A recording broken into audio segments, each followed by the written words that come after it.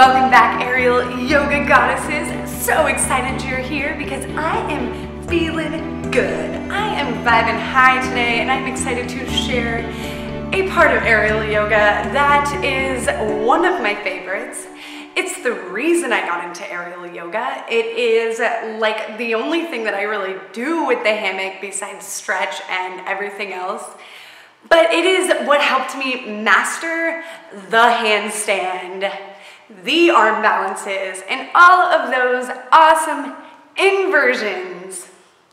Not only is it great for doing that, if you have never done yoga, you have never done gymnastics, you've never done anything like this, it allows absolute, absolute beginners to be able to feel the benefits of going upside down, lengthening the spine. It puts no pressure on your neck. It gives you really awesome upper body strength and just all around is such an awesome tool. So I'm so excited that you're here to join me. All right, aerial yoga goddesses. So we'll start off with some warm-ups for the arms, the upper body, and just talk about the technique of handstands. So we want to bring our hands palms facing down to the top of the mat. We want to set them up right underneath our shoulders. So trick here for mastering those handstands is to really pull your shoulder blades down your back and lift through your chest. You want to claw your hands into the floor and just lift, engage your core, pull your legs together, and breathe. So often we forget to breathe when we're doing inversions, and that is the key. So we've got our hands set up, our lats are pulling down our back. You can go ahead and take that right foot into the fabric right at the ankle. We're clawing the floor, we'll take a big breath in to open through the chest, look up.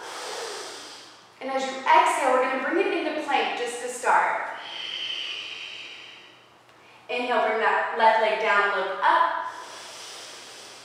Exhale, plank. Two more, inhale.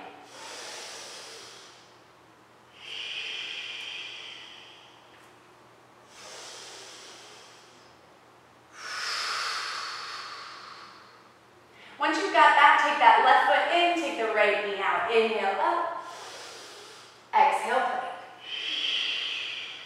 Three more.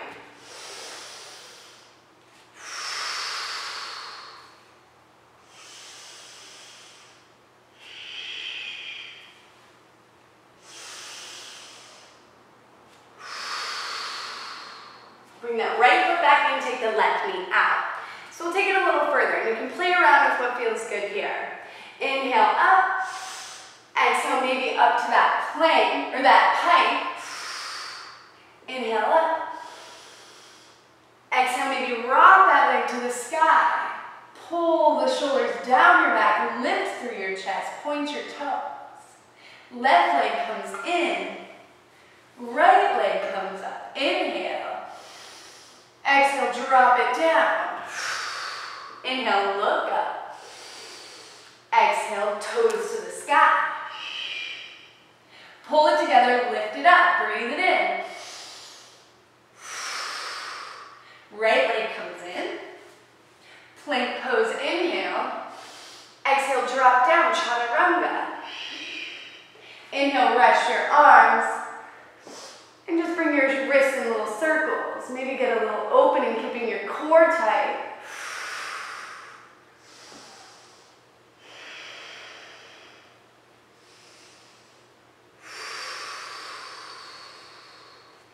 So bring the hands back under the chest. Bend your knees. Inhale, lift up. Bring it in. Hold. Lifting through that chest. Shoulder blades pull down the back. Core is nice and engaged. Straighten the legs. Bring them side to side.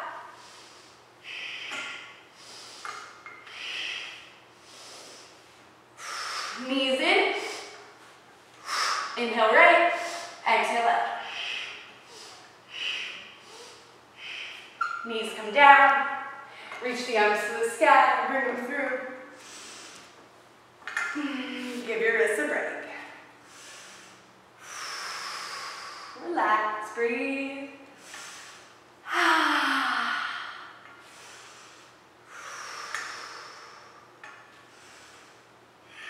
We'll bring it into inversion. So, grabbing up high on our fabric, we're gonna bring it up to the small of the back. Thumbs are gonna tuck in, right there. We're gonna start to lean back, keys to keep the legs super, super wide. Legs come wide, bring the hands to the floor. Attach the feet around, so they're out and around front. Hook your feet on, straighten your legs out, push into the floor. Breathe.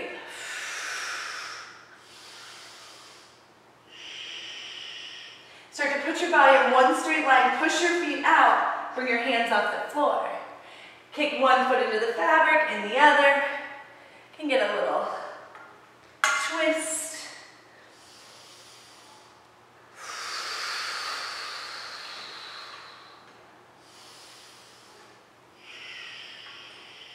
Making sure you're breathing. You can walk the hands forward, relax the legs, stretch out, drop your head.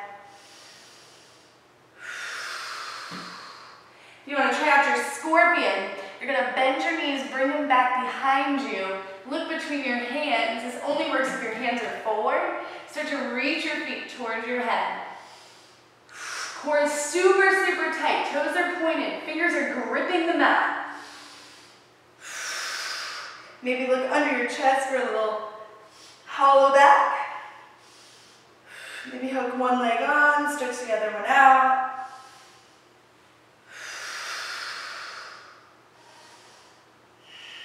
Bring the legs wide. Grab up between the hands. Come up. Relax. Breathe.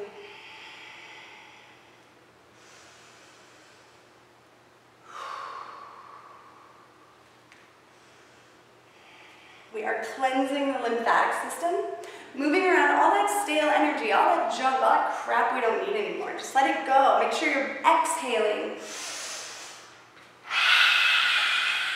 Don't need to hold any of that stuff in. Anxiety and stress comes from holding in our emotions. What I learned out at Esalen in California is that when we don't express ourselves, it starts to turn into illness, dis-ease in the body, tension, nervousness. So if you really allow yourself to exhale and release, you can let go of all that junk. You can let go of all that stress, all that tension. You can be in that receiving mode, that allowing mode that Abraham Hicks talks about. Being in the vortex, feeling good. Another pose that I'm super in love with, if you've been following me, you know that I do it all the time and mastered it here from this handstand, is to just bring the forearms down to the ground. Let your elbows come down to the mat, right underneath your shoulders. Your thumbs are gonna be about an inch apart. And you just come down into the forearms for forearm stand. Once you're there, we'll bring that right leg into the fabric right at the ankle, same with the left. You can start to walk your hands back. Claw the floor, same thing. Shoulders pull down the back, lift through the chest, lift your hips up to the sky. Breathe, look between your hands. You want, you can start to bring one foot off. If you feel good, you can start to use this fabric as balance and start to bend that left knee into your body. Squeeze your core, squeeze your shoulders together, squeeze your elbows together. Breathe.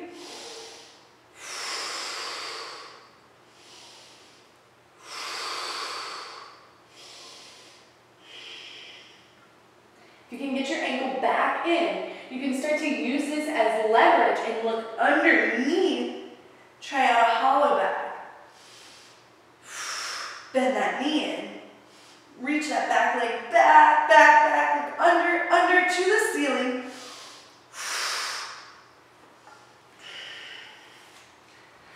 Woo! Not forgetting to breathe. All right, aerial yogis, thank you for being here. I'm Margie Pargie. If you loved this, like, subscribe, comment, do what feels freaking awesome, and don't forget to tune in next week for another tutorial. Mwah. Namaste.